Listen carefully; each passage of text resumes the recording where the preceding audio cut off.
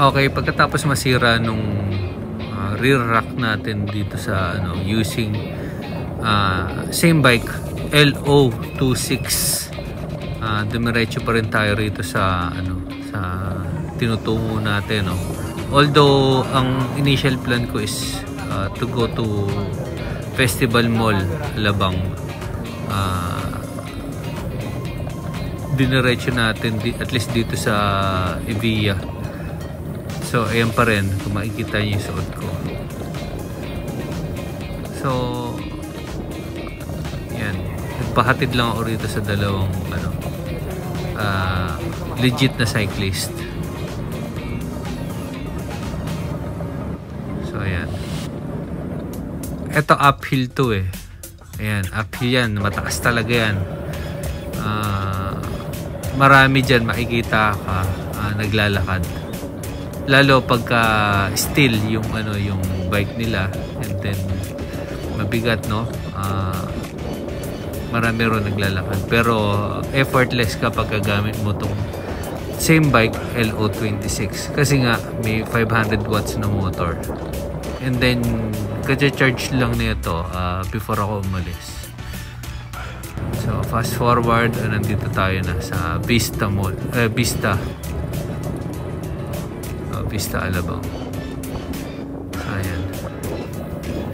Ito malamang to kasi uh, uh, regular speed ko kasi rito dito sa kabuong kahabaang ito no. Regular speed ko rito is uh, 30 kilometers per hour. Regular speed. Uh, pumipidal ako pero talagang ang nagtatrabaho rito is yung motor ng same bike LO26 kumbaga ano lang to chill na chill. Ibig sabihin itong dalawang to talagang uh, malakas. Kasi dire-diretso eh. Pero mo haba ng binawi haba na ng pinipedal eh. Kaya kong unahan kaso nga lang uh, feeling ko baka mapahiya ako eh. Kasi alam ko these guys can do at least 45 kilometers per hour or 40 eh yung bike natin yung LO26 kasi yung 500 watts na motor ang tinatakbo niyang same bike na yan is 35 pag ako yung saka, sakay uh, I'm weighing 160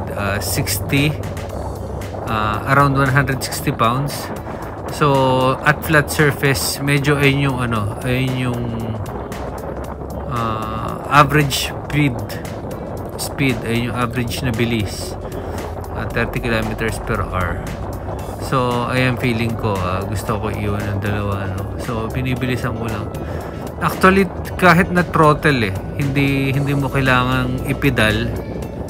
Hindi hindi ka maiiwanan na itong dalawa. Actually, kagaya na sinabi ko kanina, uh, kapag ka gusto ko silang unahan, maunahan ko sila.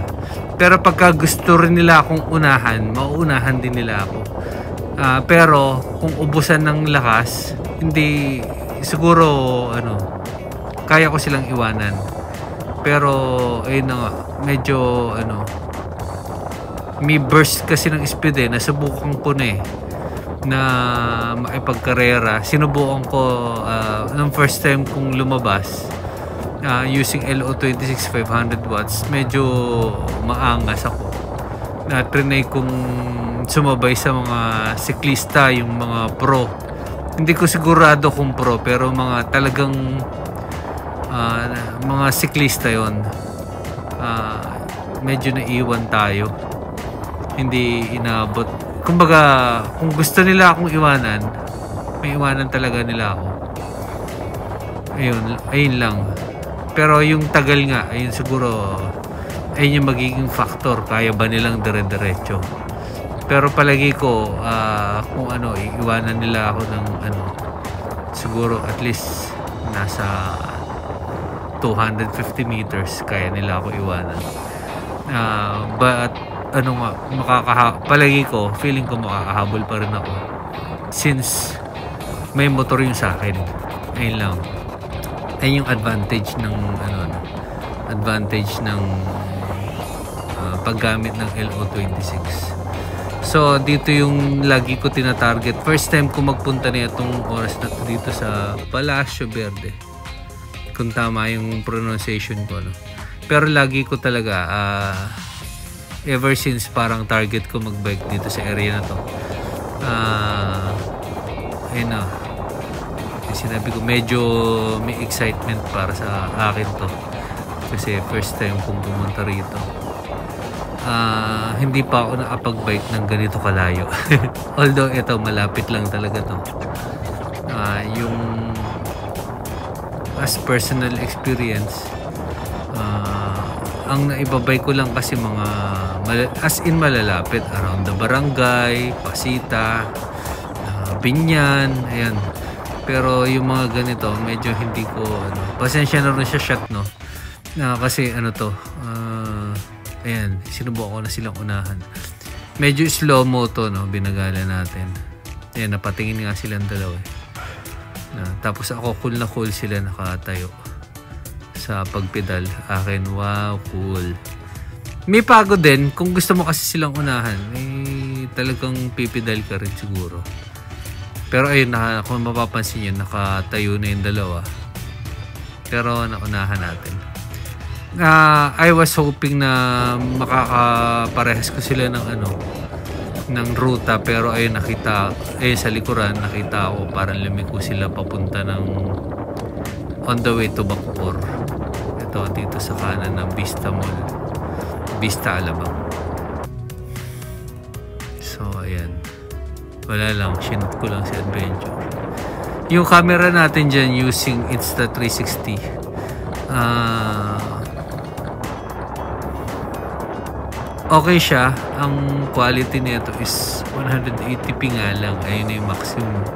Although, kapag gamit mo pala is iPad, kapag ka ikay nag nag-ano ka na nag-edit ka using iPad, lahat na may edit mo, best quality na pala si 180p. Hindi ka makakapag ano ng 100 or yung 4K. So, ito may nakita pa akong electric scooter, no? Yun. Yung electric scooter na yan, eh, napakabilis palagi ko yan nasa ano, siguro na sa more than 1,000 watts yun or let's say 2,000 watts siguro. Kasi parang ano eh nung iniwanan ako niya sobra. Sobrang bilis. Ewan ko makikita rito. Pero parang pinakita ko rito yan eh. In slow mo ko. Pero talagang sobrang bilis. Kasi ayan, ayan this, this time I'm traveling around uh, ayan yung daliri ko naka ano yun, nasa throttle eh. Ayan nasa throttle nga uh, I was traveling around 30 kilometers per hour dyan so ayan umikot lang tayo. Parang twice lang ako umikot dito eh.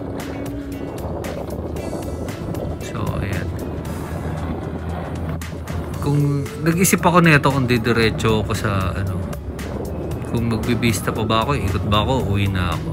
Kasi nga kasi sira lang nung uh, rear rack uh, yung worth 700, 750 pero sa Shopee yun makikita nyo nasa 450 lang ata. Medyo hindi lang ako makahintay nun excited ako na ilagay. So ayun na binili ko.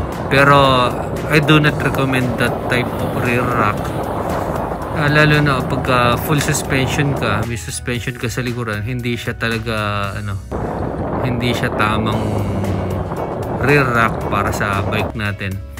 Same goes with the XWLX 09 uh, hindi rin pwede yung ganong rear rack kasi nga full suspension.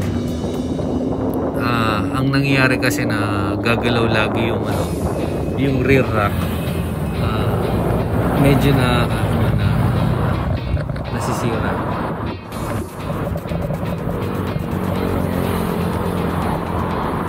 Bawal bumaba dyan. Bawal.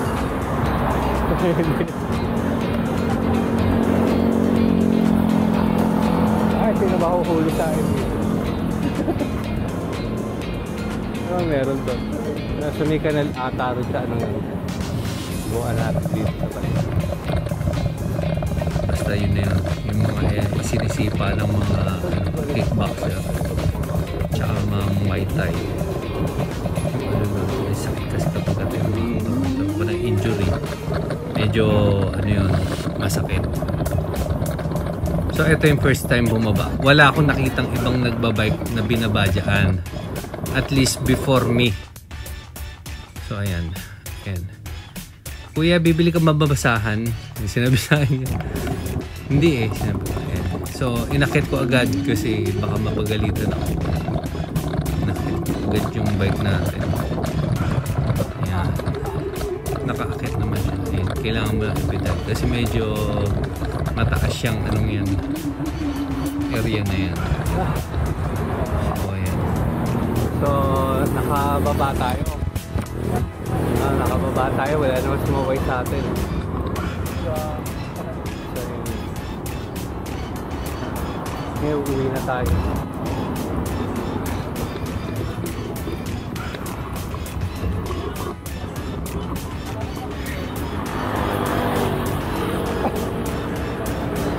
Bababa ulit ako dyan sa function na yan. Pero, parang nagdadalawang isip ako. Di ba? Yan, yung anong brand? electric scooter. Dual hub ata yan. Ah, itim pala yung ano, helmet. Hindi ko talaga makita eh. Gusto ko makausap yung may-ari at least ma- makachika. Pero kabilis yan. Kasi gusto ko rin sumubok. Pero wala akong balak bumili. Gusto kong sumubok, wala akong balak bumili. Ah, kasi parang ah, natakot ako kasi ang dami ko nakikita, nakikita, nakikita sa amin eh. Bundok kasi yung sa amin. Ah, nakita ko naglalakad. Mga nakaganon, naka-electric scooter, nakita ko naglalakad.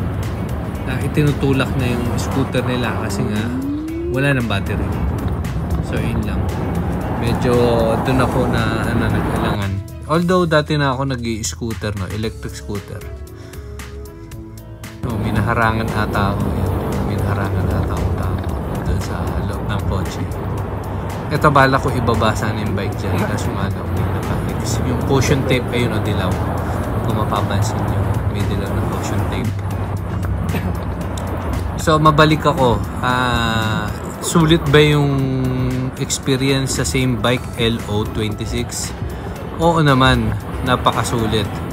Ah, with the price kasi eh, sa tingin ko sa full sus- may full suspension na ano na bike na same bike. Ito yung mas sulit. So ito, ayan. Dito kasi football field kasi yan, football field. Yung soccer. Ano ba mas tama ron, soccer? Anyways, ayun na. Ah, sulit ba yung LO26? Ah, sa akin, oo naman. Mas mura siya kaysa sa XWLX09. Ah, pero sa akin kasi may, may ano ko eh medyo mahina tong lower back ko kasi. Ah, ayun, ayun oh, yung ang bilis no. Ayan oh. Slow mo yan, super slow mo yan. Yung anong yan, yung shot na yan. Yung scooter eh, electric scooter oh. Super slow mo yan shot na yan. Mapapansin mo eh, pati yung mga sasakyan sa kabila slow mo. Para lang makita ninyo super slow mo. Pero kung ano yan, halos hindi mo makita, hindi mo mapapansin yan. Kung ang gamit natin eh, ano, ah, yung ordinary speed. So, ayan. So, ayun, mabalik ako. Ah, kung balak mo bumili, ah, kasi medyo mas mura to eh. Ang difference niya ron sa XW ah, LX09 na isa yung may full suspension na ano, parang mas formang BMX kaysa rito sa ano, ah, mas mura to. Ah, full suspension is good. Ah, experience is good.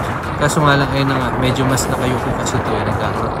Yung ano, uh, nati-trigger ata yung lower back pain ko kapag uh, nagbabike ako na ito. So, I'd rather, ano, spend a little bit more para lang ma-compensate hindi, ano, hindi sumakit yung lower back ko. Kasi ang sakit kapag uh, nanakit yung lower back ko. So, ayun lang. Experience sana kung ano, if you're uh, thinking kung bibili ba kayo ng ano ng same bike yung power nandoon ah, siguro ayun lang recommendation ko ayos yan ayos thank you salamat sa panonood